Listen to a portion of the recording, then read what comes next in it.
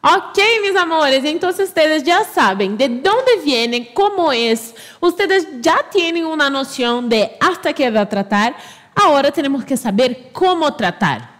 Bueno, doctores, existe una diferencia bastante grande entre nosotros hablarmos que voy a expandir un paciente dentro alveolarmente y un paciente que yo voy a hacer una disjunción maxilar.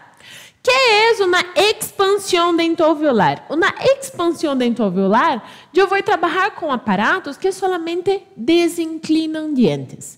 Se eu tenho uma característica em um paciente que eu vejo o modelo superior da oclusão superior e eu vejo que sim existe uma mordida cruzada posterior, pero existe um caráter mais dentoalveolar, eu vejo que os dientes estão como lingualizados ou palatinizados para, para, para este sentido e não existe uma real atresia, não existe um estrechamento maxilar, eu posso trabalhar com expansão dentoalveolar. Então, há a diferença de eu ter um paladar amplo com dientes lingualizados. E nesta condição, eu solamente posso fazer uma expansão dentoalveolar, ou seja, uma desinclinação dentária ao sentido vestibular. Agora, se eu chequeo meu paciente e ele tem uma característica triangular do paladar, doutores, esta característica triangular eh, requerer, ela, ela requer, ela pede, por amor de Deus, para ser um tratamento de disjunção maxilar. Porque solamente eh, hacer una intervención a nivel de los dientes no va a resolver el problema.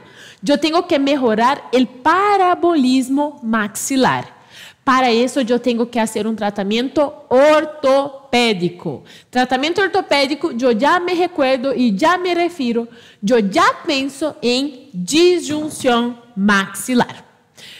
Ok, doutora, pero qual é a diferença? Eu todavia não compreendi a diferença de uma disjunção maxilar e a diferença de uma expansão dentoalveolar.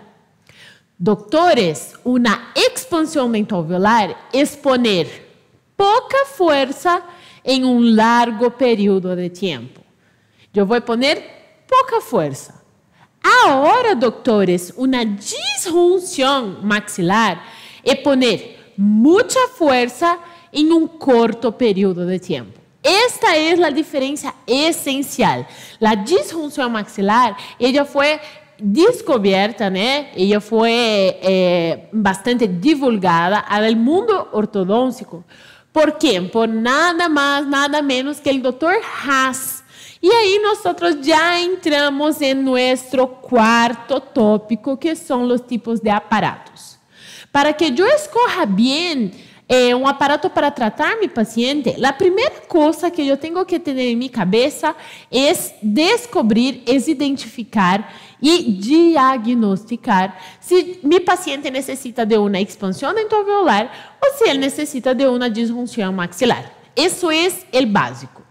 Se eu vejo que meu paciente não tem um problema esquelético de nenhuma maneira e solamente uma expansão dentoalveolar já é, já é suficiente para ele, eu posso ir para os aparatos que aplicam pouca força em um largo período de tempo. Que seria aí um arco em W, ou então uma plaquita com um tornilho expansor. Esses são os básicos em relação a fios removíveis. Agora, doutores, se eu vejo que meu paciente ele tem um paladar triangular, ele tem aí problemas, pode ter problemas respiratórios que vêm na queja da mamá quando chega a meu consultório. Isso é também um fator que diferencia para nós escorrermos um tratamento ou escorrermos outro tratamento. Se ele tem características de um apinhamento intraósseo muito grande, que eu necessito tra tratar também, quando as características do paladar acompanham outros fatores que dizem a mim, doutora, que eu posso fazer uma disfunção maxilar, aí eu vou trabalhar com os aparatitos que fazem este tratamento ortopédico. Em relação aos aparatos que fazem esse tratamento ortopédico, eu tenho quatro opções muito lindas para apresentar a vocês, se vocês todavia não foram, não, vocês não foram apresentados. Primeiro aparatito é aparato de Haas. O aparato de Haas foi o primeiro aparato que foi aí disseminado por el próprio Dr. Haas, que é um aparato dentomuco suportado que tem as extensões em acero para os molares e ganchitos em los caninos ou premolares, pero também apresenta uma parte que vai na mucosa palatina. Antigamente se acreditava que esta anclaje muco, dentomuco suportava traía aí vantagens em relação a ter maiores efeitos ortopédicos. Pero atualmente, com as investigações que temos hoje, sabemos que não existem aí diferenças que são bastante significantes em relação à segunda opção, que é o aparato de Hyrax ou Hirax, como vocês queiram dizer. O aparato de Hyrax ou Hirax é um aparato que é anclado solamente nos dientes o sea, anclaje dentro suportada. Esta anclaje dentro suportada también es hecha en los molares y en los caninos en la región anterior. Y si no tenga los caninos decidos, puede ser puesta también en los premolares. ¿Está bien? Esse aparato também sigue o mesmo sistema, o mesmo protocolo de tratamento que o aparato de Haas. Então, sigue a filosofia do Dr. Haas. La tercera opción de tratamiento que yo pongo para ustedes eh, pensarem em instalar em seus pacientes seria o aparato de mariposa. O aparato de mariposa é bastante utilizado quando nós hacemos uma primeira disjunção para tratar que seja uma mordida cruzada la parte posterior e depois nós reevaluamos e chequeamos que todavia falta espaço para los, la região anterior. Nós todavia necessitamos de aumento em la distância intercaninos. Caso comum é quando falta espaço para a erupção de los laterales, mesmo depois de uma disjunção maxilar com Hyrax. Aí, doutores, é uma opção maravilhosa o aparato de mariposa. O aparato de mariposa tem seu tornillo direcionado para a região anterior e tem um formato diferente em mariposa, que abre mais em la distância intercaninos e abre menos em la região de los molares, em, los, la, em la região de los molares. E é uma ótima solução para casos onde eu quero maior expansão na região anterior e menos em la região posterior.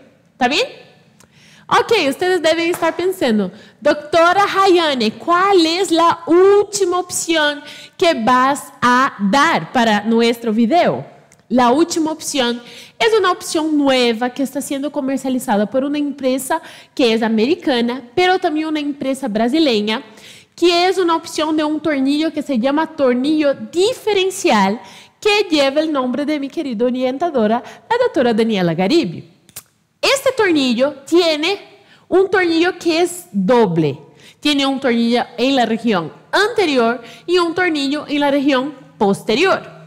El tornillo de la región posterior trata la cantidad que el odontólogo quiere de expansión posterior.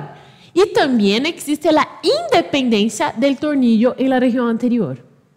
Antes, nosotros utilizábamos dos aparatos. Utilizábamos primero Hyrax e depois, quando todavia faltava espaço, utilizávamos el mariposa para a região anterior. Pero agora podemos ahorrar el tiempo, el costo de este proceso y disminuir dos aparatos por uno. Por un aparato que es este aparato diferencial que puede tener independencias de la región anterior y posterior y el doctor puede activar cuánto necesita en la región anterior y cuánto necesita en la región posterior.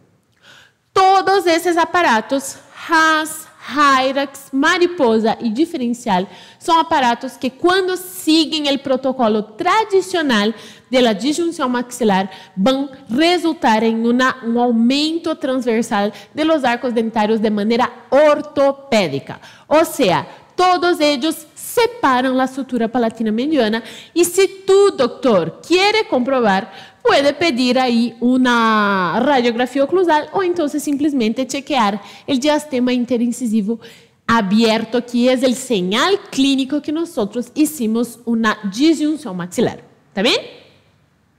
Doctores, yo necesito hablar para ustedes el protocolo de activación de una expansión rápida de la maxila.